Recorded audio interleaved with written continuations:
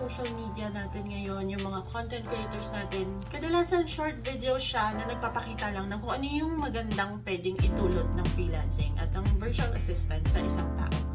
Kaya lang, medyo onti lang yung mga nagsasalita and nagkikwento talaga kung ano ba talaga yung para side. Kasi hindi naman maganda lang yung side ng freelancing. Kahit anong bagay naman, di ba? So, may mga pangit, may mga maganda. So, for this video, pag-usapan natin yung mga hindi madalas pag-usapan. Hindi ito magiging money-driven video. So, pag-usapan natin yung kung ano ba talaga yung kailangan mo i-expect kung gusto mo maging freelancer. So, hi, I'm Niza Gueco. Isa akong freelancer for 10 years na. Writer ako and VA sa mga clients. At nagtuturo ako sa mga newbies na gusto mag-start for free. Siyempre, kasi naniniwala ako na hindi mo naman talaga kailangan magbayad for you to start your freelancing journey. So, kung sa tingin mo para sa'yo yung content and yung guidance na kaya kong ibigay, check out mo yung ibang videos sa channel ko or continue with this video. So for today, pag-usapan natin yung mga hindi madalas pag-usapan pa sa mundo natin ngayon, di ba? Parang puro short contents na, yung mabibilis. Siyempre, hindi mo naman masasabi agad dun yung mga kailangang malaman. Kailangan natin pag-usapan kung ano ba talaga yung i-expect nyo dapat bago kayo sumabak sa freelancing. Unang-una, freelancing is not a job. It is a lifestyle. So, ito yung realization ko sa 10 years ko na ng freelancer. So, hindi siya yung basta isang job lang. Katulad ng nakasanayan natin sa corporate world na isang job ka and may buhay ka sa bahay tapos may office job ka. So, hindi ito tulad nun. Kasi ang freelancing is parang siyang puzzle. Pwede kang kumuha ng maraming clients, pwede mong buuin yung desired income mo, pwede mong i-reach yung gusto mong career na gusto mong maabot. So, hindi siya basta-basta isang client lang, isang job na magbibigay sa'yo ng stability.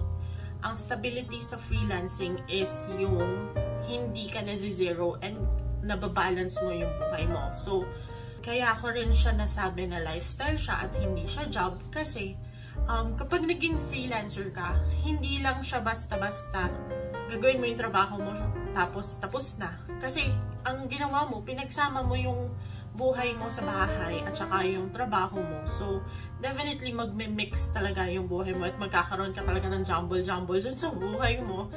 Tapos, pag nasa office ka, hindi mo naman na hindi mo naman alam kung ano yung nangyayari sa bahay, di ba? So hindi ka stress, hindi iba-iba yung yung focus mo nandun lang sa office at saka dun sa work na kailangan mong gawin. Whereas, syempre, pag freelancer ka, nasa bahay ka nagtatrabaho, so uh, lahat ng mga nangyayari sa bahay, ultimo katok ng Shopee, alam mo. So, hindi siya parang job na kukunin mo lang siya tapos uh, bibigyan ka niya ng sweldo at syempre ma makakapag-ipon ka. Hindi siya isang job na magbibigay sa'yo ng income tapos meron kang separate na life. So, it's a lifestyle. Mag magugulo yung buhay mo at mag-adjust yung buhay mo based doon sa kung anong klaseng freelancer ka. Okay, so isa kasi to dun sa mga mistakes na nakikita kong ginagawa ng mga gusto mag-start kasi hindi daw sila makahanap ng freelancing jobs. So, or VA jobs. Kasi ang mindset nila is yung iba, yung mindset ng ibang tao is maghahanap sila ng VA job. Tapos, yun na yun. Pwede na sila mag-resign. Tapos, mag magsa-start na sila dun sa job na yun. While there are, while meron talagang mga jobs na ganon, yung full-time ka agad and pwede ka mag-resign tapos magtatrabaho ka na agad dun sa client. Meron naman talaga mga ganyan na jobs. Kaya lang, dun sa traditional sense of freelancing, i-build mo yung portfolio mo and yung career mo kung ano yung kaya mong i-offer, i-build mo from scratch. So, for example, dun sa mga gustong magtrabaho, uh, sa freelancer tapos may office jobs pa kayo, hindi nyo kailangan mag-resign and hindi nyo kailangan maghanap ng full-time job agad as a freelancer. Pwede nyo gawin yung free time nyo dun sa, sa yung free time nyo sa office job. For example, nakaka-uwi ka ng 9 o'clock pero 12 ka pa natutulog kasi nag-Netflix ka or nag-TikTok ka. So, yung 3 hours na yon pwede mong gamitin instead in looking for jobs na per project basis. Ibig sabihin, hindi siya full-time and hindi siya yung talagang focus position na na buong job talaga. So, meron kang makikita sa freelancing na mga per project basis. For example, si client, kailangan niya lang ng article para sa website niya. So, pwede siya mag-post ng job na yun. Kung kaya mo magsulat, marunong kang magsulat, pwede mong kunin yun. Tapos, eventually, pag napasa mo yun, kakaroon ka ng reviews, magiging maganda yung feedback sa'yo, pwede siyang umulit sa'yo, and pwede siyang mag-refer. Pwede nga i-refer ka sa mga friends niya, ganon. Number two, hindi ito get rich quick scheme.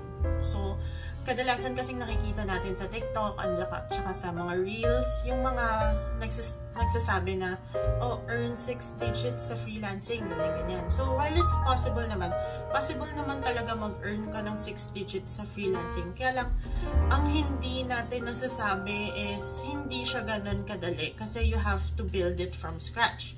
So, kasi ang common misconception is kapag kunwari sinabi ko na earn 6 digits, tapos um, nagko-compute na yung iba. So, parang uh, 6 digits, 100,000, tapos 40 hours a week, tapos ganito. So, dapat more than $20 per hour na agad yung rate ko.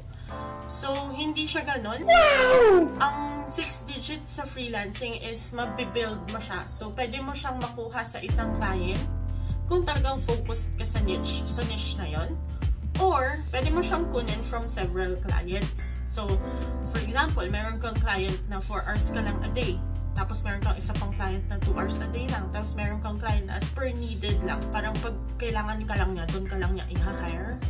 So, mabibuild mo yung sarili mong gustong income. Kasi, mabibuild mo siya from the income ng clients na ikikip mo. So, hindi ka tali, hindi ka tali sa isang corporate job or hindi ka tali sa under one boss. Minsan toxic pa char. Ayun, so hindi siya get rich quick scheme. Hindi siya something na pag nag-start ka is yun na agad yung makukuha mo. Merong mga ganon na ma makukuha nila agad. Pero meron, pero yung totoo kasi, i-build mo talaga siya from scratch. So, ako, for example, lagay na lang natin yung doon sa client. So, for example, ako, client ako. Tapos, pag nakita ko yung freelancing portfolio ng isang nag-apply sa akin, syempre, kung wala naman siyang experience online or experience doon sa ina-applyan niya, iba kasi experience natin sa locally ah, dun sa jobs natin sa corporate world, iba siya online. Ibang bansa yung makakasalamuhan natin. So, different cultures, different rules and laws, mga ganon. So, kung makita ko na yung freelancer is wala naman siyang experience sa hinahire ko na jobs, doon sa gusto kong job na uh, i-fill, definitely, hindi ko siya bibigyan ng 6 digits. Siyempre, kasi business ko yun eh, di ba? syempre, alam mo naman, ubusin mo yung pera mo para lang ibigay yung 6 digits dun sa freelancer. So, ang 6 digits ay in-earn yan. I-earn mo yan as a freelancer. Papakita mo na kaya mong i-build yung sarili mo. From from kung saan ka magsisimula. So, hindi mo naman kailangan mag-start sa simula, pero kung ano na yung alam mo from previous jobs, from yung profession mo, from yung pinag-aralan mo, or yung hobbies mo, even hobbies ha, So, lahat ng mga yon pag samasamahin mo para malaman mo kung ano yung start na pwede mo simulan na clients. Tapos yun, puzzle. Lagay-lagay mo yung mga mag-yes ka sa mga clients na gusto mong uh, na alam mong i-serve or mag-explore ka dun sa mga clients na gusto mong matutunan. So, eventually, kapag nagbuo-buo yun, yung income na bubuuin mo, marireach mo yung 6 digits. Pero, hindi yan agad-agad. Hindi yan yung pagpasok mo, 6 digits ka na agad. So, yan. Pangatlo, you can start even when you have office jobs. Kasi, yun yung isa kong pang nakikitang parang dilemma ng mga gusto mag-start ngayon. So, since, di ba, nanggaling tayo sa pandemic, tapos parang marami yung nag-work from home, tapos after noon, nung back to work, na, marami yung gusto mag-shift na lang freelancing kasi nga mas nasanay na sila sa bahay and alam nila na kaya naman pala and marami na yung kumikita sa ganitong lifestyle. So, gusto nila mag-start. Kaya lang, parang feeling nila, ang choice nila is to resign para makahanap sila ng job. So, it's not like that. Ah, hindi ganun yun. So, pwede ka naman mag-start. So, katulad nung minention ko kanina, pwedeng habang may job ka, tapos yung free time mo, gamitin mo siya sa pag-apply. Tapos, simulan mo sa pag-apply dun sa mga alam mo. So, for example, writer ka noon sa school paper nyo. Magandang start na yon as a writer. So, syempre, hindi mo pwede, hindi ka pwede mag-expect ng something super big agad kasi nagsistart ka pa lang and yung experience mo is yung school paper pa lang. So, marami naman clients na, na willing mag-hire ng newbies. Tapos, eventually, makukuha mo yung experience na pwede mo makuha from them. Tapos, after nun, kuha ka lang ng kuha ng jobs na kaya mo in your free time. Tapos, eventually, pag nabuo mo na yung portfolio mo, mas madaling mag-apply ng full-time kung gusto mo talagang mag-resign, mas madali mag-apply ng full-time kung meron kang kahit pa paano mga part-time or per project basis na mga uh, tapos na na projects and meron ka ng reviews and meron ka ng portfolio na mapapakita. So, better yon kaysa yung magre-resign ka tapos maghahanap ka agad ng job na full-time. Pang-apat, you can pursue fields that are outside your profession. Malaking example, so malaki, literal na malaki. So, isang malaking example is ako. Isa akong architect. So, pero ngayon, writer ako at VA. Di ba ang layo? Pinursu ko yung writing at saka pagiging VA. Based lang doon sa experience na nabuo ko from, syempre, yung alam ko. Summary nung pinanggalingan kong job. So, syempre, nung nag-start ako ng freelance, ang hinahanap ko is yung mga familiar ako So, since architect ako na mayroon akong experience sa retail, sa mga mall, may, may experience ako sa residential na uh, low-rise at saka sa high-rise. So, yun yung hinanap ko muna. So, naghanap ako ng AutoCAD jobs at saka ng 3D jobs na magagamit ko yung experience ko. So, syempre, doon, doon ka magsa-start. Hindi ako naghanap ng buong full-time agad na parang architect ako, gusto ko full-time architect na agad yung hanapin ko. Medyo mahirap.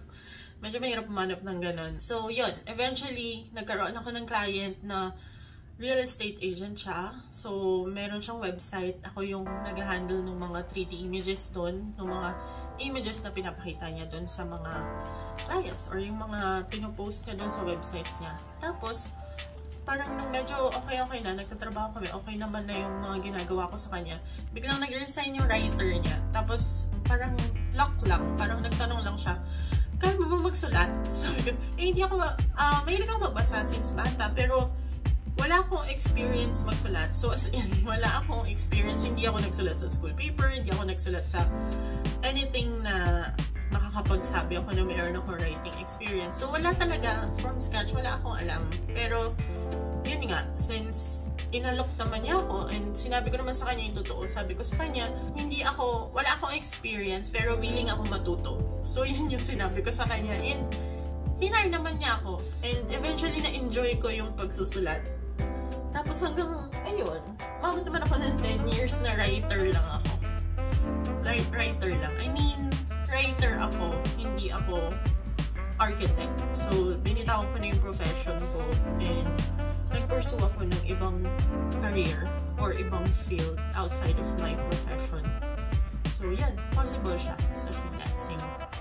Number five, you can build your own income and career. So, ayun, kanina natin pinag-usapan yung career at saka yung income. Sa freelancing, nabanggit ko na rin kanina, kaya mo buuin yung income na gusto mo. So, for example, mommy ka, tapos yung asawa mo is a good provider naman, nagpo-provide naman niya yung kailangan niyo, tapos ikaw is nag-aalaga ng bata. For example, nag-aalaga ka ng anak niyo, tapos umabot na yung anak niyo dun sa school age, na parang meron ng mahabang time na nasa school siya. So, yung konting time na nasa school siya, gusto mo lang siyang gusto mo lang na meron kang something productive to do. So, gusto mo lang na meron kang gawin. So, pwede ka maging freelancer and i-build mo yung style na gusto mo na yun lang yung trabaho mo. Yung, yung free time mo, dun ka lang magtatrabaho as a freelancer. Tapos, yung other time is kasama mo yung anak mo. So, hindi mo goal magkaroon ng malaking income. Ang goal mo lang is to have something productive So, posible yan sa freelancing. Tapos, syempre, kung yung goal mo naman is mag build ng sobrang laking income like yung sinabi natin kanina na 6 digits, posibleng posible siya sa freelancing. Katulad ng sinabi natin kanina, pwede ka mag-isang client kapag napatunayan mo na sa, sa isang client yung field mo and yung nag-niche ka talaga at talaga nakafocus ka dun sa niche na yun, hindi makakuha ka ng 6 digits. However, ang lagi ko sinasuggest dun sa mga nasa groups, wag ilagay all your eggs in one basket. Huwag mo ilagay lahat sa isang client. Kasi pag nag-end yung contract nyo nung isang client na yun, medyo mahihirapan ka maghanap ulit ng bago. So, hindi naman sa mahihirapan, pero merong chance na maging zero pa for a few weeks. So, for a lot of us, hindi yun pwede. Marami yung magugutom pag na zero kahit isang linggo lang. Ang pinaka sinasuggest ko is scatter mo yung eggs mo. So, kung sakaling meron kang full-time, since online naman and nasa bahay ka, pwede ka mag-build ng other income streams. Like, pwede ka magkaroon ng per project basis, pwede ka magkaroon ng um, jobs na per article basis lang. Yung parang ibibig, uh, pwede mo i-claim yung gusto mo i-claim na isulat kapag may time ka lang. So, maraming clients na ganun. Lalo na dun sa mga websites and news websites. So, kapag may time ka, dun ka lang magsusulat and dun ka lang magko-contribute dun sa website ni client. So, pwede mong i-build yung sarili mong income. So, when it comes to career naman, pwede mo rin siyang i-build. Like, for example ko, ako, hindi naman ako writer. Architect ako, pero naging writer ako. Kinaya kong i-build yung career ko as a writer. Kasi, magbe-base naman yung career mo doon sa mga jobs na tinatanggap mo. So, since choice ko na hindi na bumalik sa mga architectural jobs and mag-pursue ng writing jobs, yun yung career na na-develop ko and na-build ko for myself. So, um, naging writer ako based dun sa mga experience na nakukuha ko sa jobs na ina-applyan ko. Pwede nyo i-build yung career and yung income na gusto nyo. So, isa pang example nung um, pwede mo i-build yung income, no? So, example ko ulit yung sarili ko meron akong isang client ngayon. Part-time lang ako sa kanya. Para 2 to 4 hours lang a day. Uh, pero yung income ko from that client, since napatunayan ko naman na yung sarili ko as a VA, yung income ko from that client ay more than enough na dun sa full-time ko nung nagsisimula pa lang ako. So anyway, okay na siya as part-time. Parang mabubuhay naman na kami. And dagdag pa yung sa sweldo ng asawa ko. So, mabubuhay na kami dun. Pero, since hindi ko gustong ilagay yung bas yung yung eggs ko sa basket ng client na yun, sa basket ng client, sa basket ng client na yun. So, since ayoko doon lahat ng eggs ko, and ayoko parang pag nawala siya is ma-zero, um, meron akong sarili, meron akong binild na iba. So, nag-build ako ng YouTube ko sa hobby ko. So, yung hobby ko kasi is journaling. So, nag-build ako ng YouTube doon and earning na yun. Earning na siya ngayon. Tapos, naggawa din ako ng isa pang hobby ko. Yung, mahilig ako sa planners. So, gumawa ako ng sticker shop. Ang target ko is yung mga planner addicts. So, yun.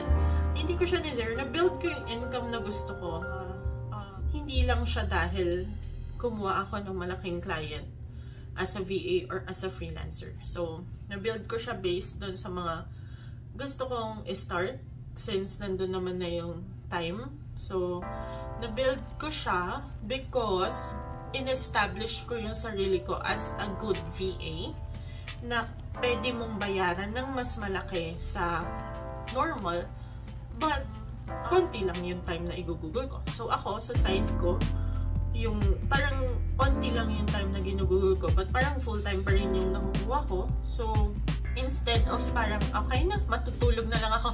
Tulad naman nakikita nating uso ngayon sa TikTok na parang ah, sige na matutulog na lang ako kasi tapos naman na yung trabaho. So ako ang ginawa ko nag-build ako ng other income streams. So na-build ko yung income ko. Possible siya Number six, you don't have to buy expensive gears. So, since uso na nga ngayon yung mga shorts and reels, yung mga TikToks, uh, nakikita natin yung mga desk setup, may mga magaganda yung desk as in sobrang sobrang presentable ng desk nila. Tapos freelancers sila, tapos nagkikwento lang sila kung ano yung ginagawa nila. So, well, choice naman nila yon Pero, if hindi hindi mo kailangan bumili ng sobrang gandang PC or laptop. Lalo na kung hindi naman yung design jobs or yung talagang nag-render yung trabaho na kukunin mo. For example, writer. Pwede ka mag-start sa tablet. Pwede ka mag-start sa lumang laptop, lumang PC. Hindi mo naman kailangan ng sobrang gagandang PC para mag-start. You can start with what you have. So, tapos upgrade, upgrade, upgrade ka na lang nun. So, isang misconception din kasi ng mga iba is kailangan super ganda ng PC mo, super bilis ng internet mo. So, hindi mo naman kailangan ng super bilis na internet. Basta nakakausap mo yung client mo and mamimake sure mo na hindi magsasuffer yung work mo doon sa client is okay na yun kahit hindi hindi siya 50 or 100 Mbps. Kahit sa 8, 16, ganun. Basta, ang um, tandaan nyo, yung magmamatter kasi sa client is yung output mo. So, wala siyang pakialam kung sobrang ganda nung, nung equipment mo, sobrang ganda ng setup mo.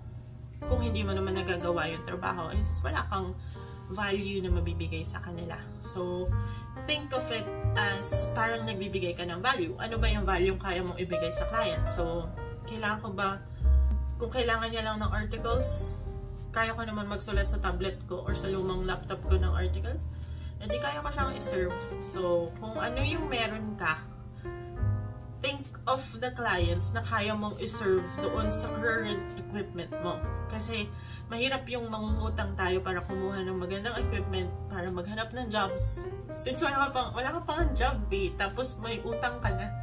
Mahirap yung ganun. So, I encourage you to start with what you have. Kung ano yung meron ka. Doesn't matter kung sobrang bagal, sobrang ano. Basta, i-base mo lang yon dun sa kaya mong iserve na client. So, syempre kailangan lang honest ka. Huwag kang kukuha nung sobrang hectic na trabaho na kailangan ng sobrang bilis na PC kung alam mo naman na hindi mabilis yung PC mo. Tingnan na lang natin yung parang i-plan plan your steps accordingly. So, huwag masyadong puro aesthetics lang. So, hindi mo kailangan bumili ng sobrang gandang PC. So, ako, parang ako, tagal ko na bago, bago ako bumili ng laptop. Yung gamit ko nung unang-unang nag-start ako is pocket wifi at saka yung Jurassic na laptop na gamit ko ng thesis ko. So, yan. Um, eventually, after nun, nakabili na ako ng PC, ganyan. Bibili kami ng PC pag kailangan mag-upgrade. Sa pangalang yung PC namin, hindi pa kami nag-upgrade ng PC after that. So, ayun as long as kaya mo ibigay yung kailangan ng client, hindi mo kailangan mag-upgrade. And hindi mo kailangan mangutang para magkaroon ka ng magandang gear, tapos wala ka pang job. So, ayun, mahirap kasi may utang ka na. Tapos, hindi ka, pa hindi ka pa nga nagsistart ng trabaho, may utang ka na. So, yun, mahirap yung ganun. So, ayun, I assure you na hindi kailangan bumili ng expensive gears to start freelancing. Like, I'm always assuring yung members ng group na hindi kailangan magbayad ng mahal or hindi kailangan mag-shell out ng money to start freelancing.